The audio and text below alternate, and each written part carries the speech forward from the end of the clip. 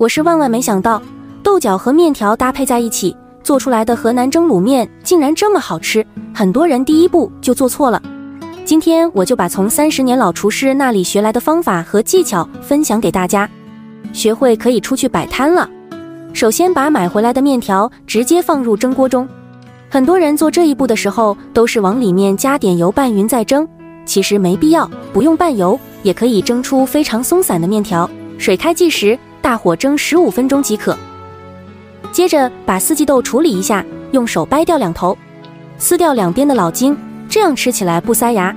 再掰成五米左右的小段，放入清水中，把豆角清洗两遍，然后控干水分装入盘中备用。再准备一根胡萝卜，先切成厚片，再切成条，切完装入盘中备用。一把小葱切成葱花。一小块生姜切成细丝，切完装入小碗中备用。再准备两块钱的五花肉，切成薄片。做蒸卤面，五花肉可以多切一点，这样吃起来会更香。切完以后装入盘中备用。锅中倒入少许的食用油，加入十八粒花椒、两片香叶，给它炒香。然后捞出来丢掉不要，放入切好的五花肉，煸炒出五花肉里面多余的油脂，再加入葱姜蒜。喜欢吃辣的，可以再放点干辣椒，炒出食材的香味。加半勺老抽，给五花肉上一下颜色，这样看起来更加的有食欲。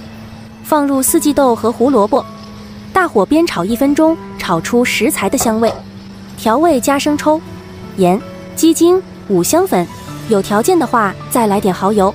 继续翻炒一分钟，然后加入一碗清水，盖上盖子，开大火把汤汁煮开。煮开以后。把锅里面的青菜捞出来，装入盘中。提前把青菜捞出来，不易变色，颜色翠绿，看起来更加的有食欲。这时候面条也煮好了，用筷子很轻松的就可以抖散，一点都不粘，也不坨，根根分明。然后将它取出来，直接放在汤汁里，用黑色的筷子充分的将面条翻拌均匀，让它喝饱汤汁。拌匀之后盖上盖子，不要开火，焖五分钟。这样焖出来的面条柔软不发硬，吃起来的口感鲜香劲道还入味。